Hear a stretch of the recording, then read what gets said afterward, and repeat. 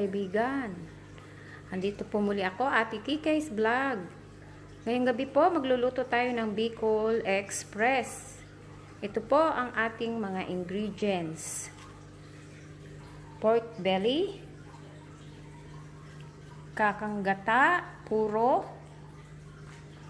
meron tayong red onion, black pepper, 4 cubes, red chili, green chili, garlic,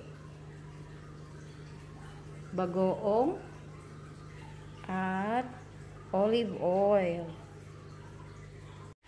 Ayan po mga kaibigan, nilagay na natin ng oil. Pinaiinit na natin siya para sa pagigisa. Ayan na mga kaibigan, mag-umpisa na tayo mag-isa. Una natin ang sibuyas.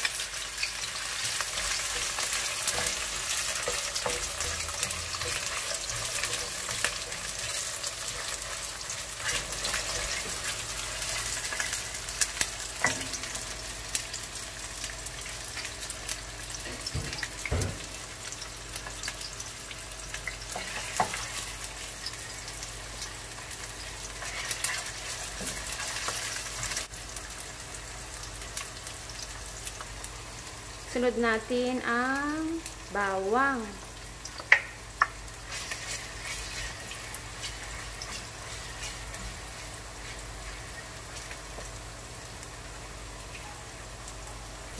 Haluing mabuti para magpantay ang luto ng bawang at sibuyas bago natin ilalagay ang pork belly.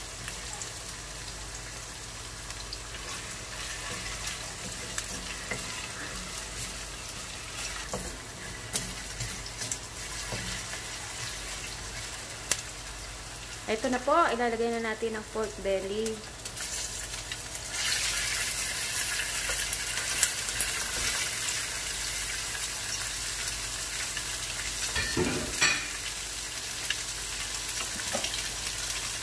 O, lagyan na po natin ng black pepper.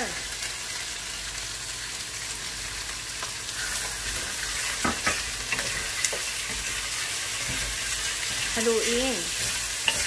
Haluin ng haluin para magpantay ang kanyang luto at kulay. Madali lang po magluto ng Bicol Express.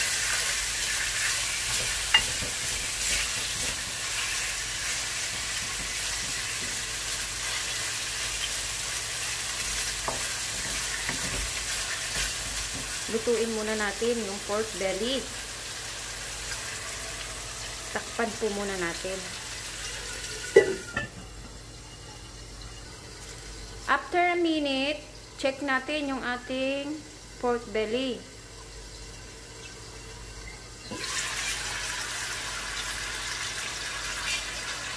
Haluin natin. Takpan uli natin hanggang maluto siya bago natin ilagay ang ibang mga ingredients. Takpan muna natin. Ami, et. Ilagay na natin yung green chili.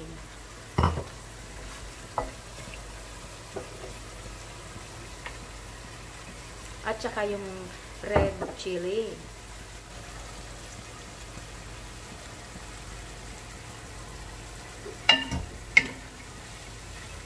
Haluin natin. Tsaka, ilagay na natin ang bagoong.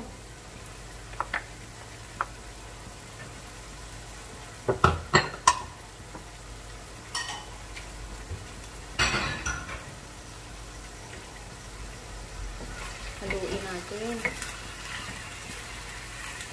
Para magpantay ang kanyang luto. At mag-mix lahat ng ingredients. ko na siya.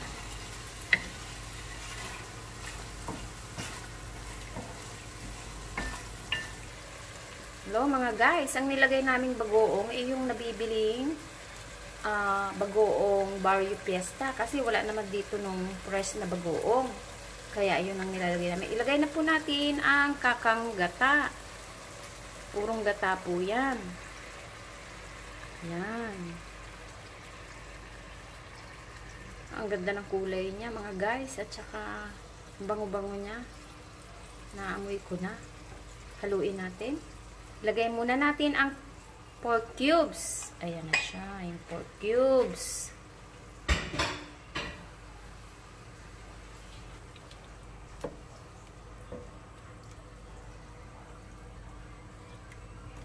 Hmm. Ang bango. Ito po yung mga paborito ng mga Bicolano. Sa amin po sa Bicol, ayan ang madalas lutuin. Bicol Express.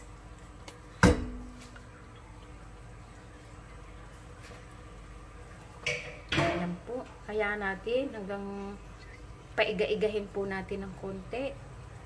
Malapit nang matuyo. O maiga ang anang konti pa. Yung paiga.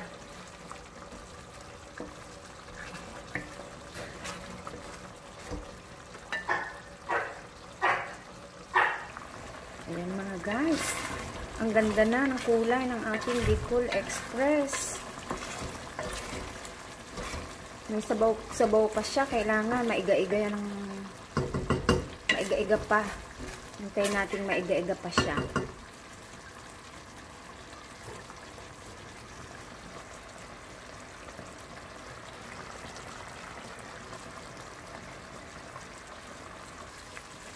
O mga guys, ito na. Luto na ang ating Bicol Express. Pwede na nating i-off ang ating kalan.